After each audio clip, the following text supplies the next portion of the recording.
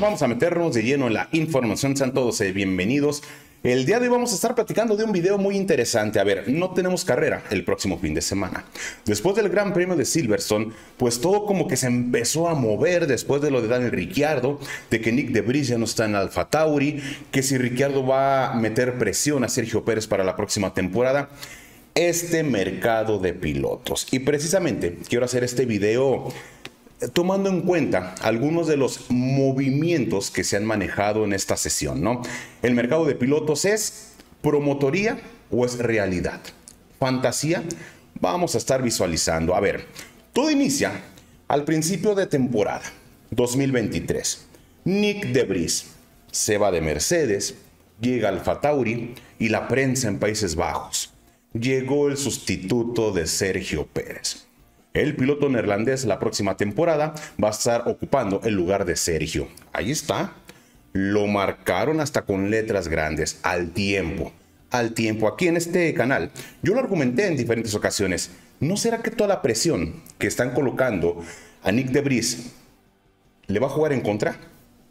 El tiempo me dio la razón. Le jugó en contra al piloto neerlandés y en este momento no tiene equipo. Ya no están Alfa Tauri ya caemos como que la prensa mm, ya tuvo sus cositas, ¿no? Siguiente circunstancia. Hace unas semanas, Hamilton, que ya sabemos que no ha firmado con el equipo Mercedes, que, a ver, en teoría ya está pronto a, a realizar su firma. Hamilton suena e incluso John Elkan ya se comunicó con el siete veces campeón del mundo para estar en la escudería de Maranello. Va. Entonces todos comentábamos, ah, caray, Hamilton en Ferrari. Mm, puede ser un movimiento interesante. ¿Quién no quiere estar en Ferrari? Una escudería legendaria, ganadora dentro de la máxima categoría, precisamente con un siete veces campeón. Pero ¿será en serio en lugar de quién? ¿De Leclerc? ¿De Carlos Sainz? Mm, bueno, sale el día siguiente una noticia también. Leclerc en la órbita de Aston Martin. Fíjense bien, ¿cómo vamos?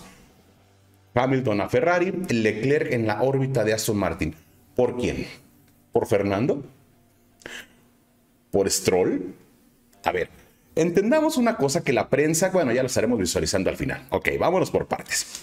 Siguiente. Alexander Albon, después de sus grandes actuaciones que ha tenido, está en la órbita de Ferrari. ¿Sí? Ferrari quiere Alexander Albon para la siguiente temporada o finalizando el contrato de Carlos Sainz. Caray, por algunas buenas carreras de Alexander, Digo, eso, a ver, el piloto tailandés está haciendo su trabajo muy, muy bueno, pero ya al estar en la órbita de Ferrari, yo lo comentaba, vámonos al tiempo. Pero se fijan ahí, primero fue Hamilton y luego fue Alexander. Ahora, ¿quién va a ser? Siguiente.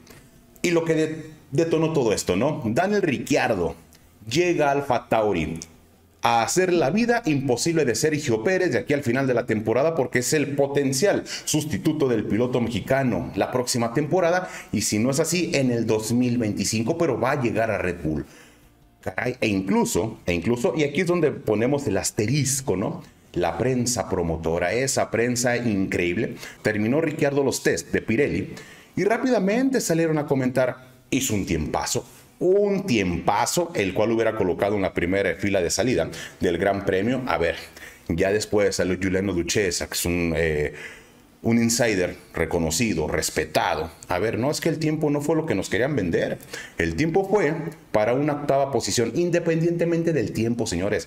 No podemos medir ni carga de combustible, ni neumáticos, ni condiciones de pista. Es ridículo, en verdad, ridículo el poder medir por los tiempos de Daniel Ricciardo, ¿no? Pero bueno, también Christian Horner, ¿no? Es que los tiempos de Ricciardo nos apantalló, que mire que muy bien. Seguramente rimbombante, justificando la llegada del piloto australiano Alfa Tauri. Pero bien, yo creo que lo de Daniel Ricciardo es más para efectos de la marca Alfa Tauri, ¿sí? Ya sabemos que la próxima temporada va a cambiar de, nombre.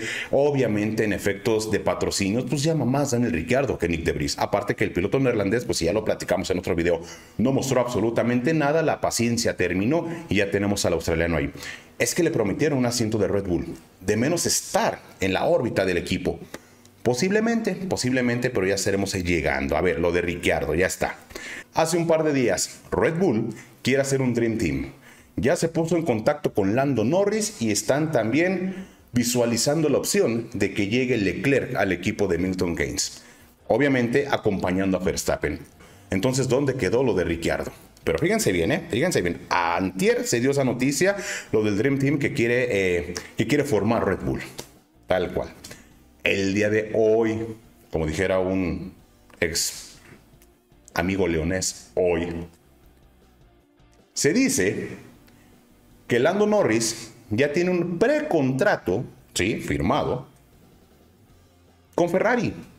Que Leclerc está fuertemente en la órbita y que no se descarta su llegada a Mercedes. Que Carlos Sainz ya tiene un pie prácticamente en Audi.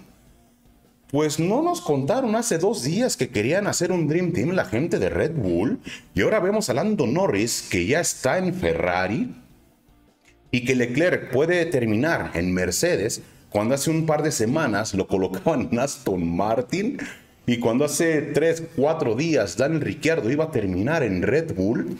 A ver, vamos portándonos serios, señores. Y aquí quise hacer este video precisamente para cuestionar todo el mercado de pilotos, ¿no? Para comentarlo. ¿Es realidad o es promotoría? Entendemos, señores, que la prensa juega un papel muy, muy importante. Hay prensa y hay reporteros que son promotores. A mí me tocó observarlo en una estación de radio donde yo trabajaba. Hay promotoria deportiva. Ojo, no representantes, promotores. Me sorprende que la cadena Sky Sports, ¿sí? una cadena que se dice ser seria, que no dudo que lo sea, pero que no pierden el tiempo de colocar a sus pilotos en la órbita de Red Bull. Lando Norris, Red Bull, Lando Norris, Red Bull, preguntándole a Christian Horner, seguramente tiene los asientos disponibles para la próxima temporada, ¿no? Cuando Horner le dice, pues no, tenemos a los dos pilotos, no, no, no.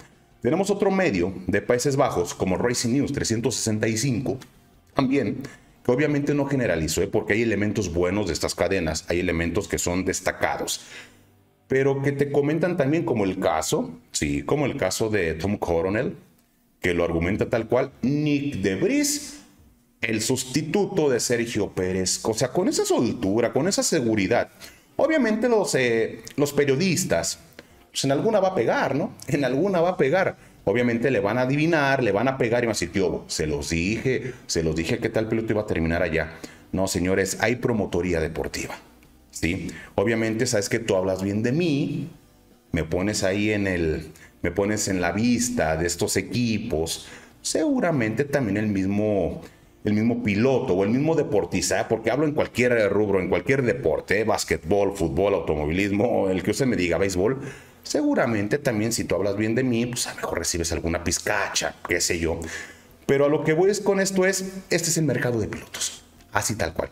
Hoy es un rumor, mañana es otro rumor, pasado es otro rumor, y así nos lo vamos a llevar, hasta no haber una confirmación oficial.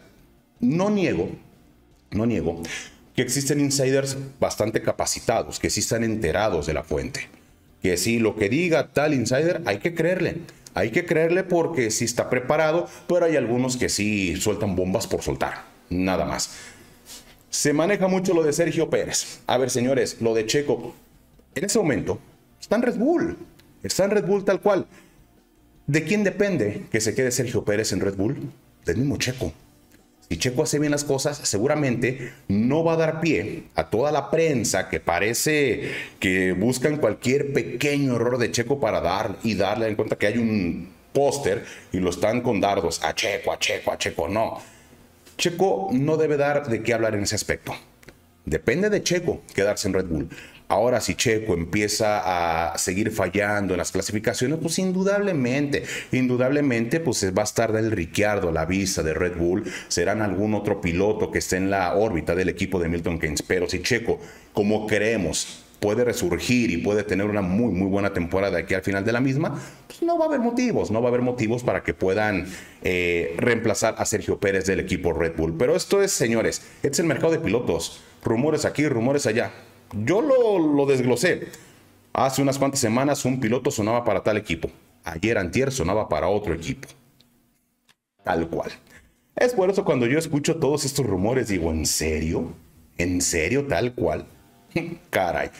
Yo nunca había visto, si usted lo ha, lo observado, en verdad háganmelo saber en los comentarios, que quieran reemplazar al segundo lugar en el campeonato de pilotos Hágame usted el refrabón No se olvide de suscribirse, señores. Estamos a nada, a nada de llegar a los 100 mil suscriptores. Apóyenos a llegar a esa meta y pertenezca a la comunidad Racing Team. Su servidor amigo Ricardo Ponce les agradece el favor de su atención y con esto llegamos a la bandera de cuadros. Esto fue Racing Team. Hasta la próxima.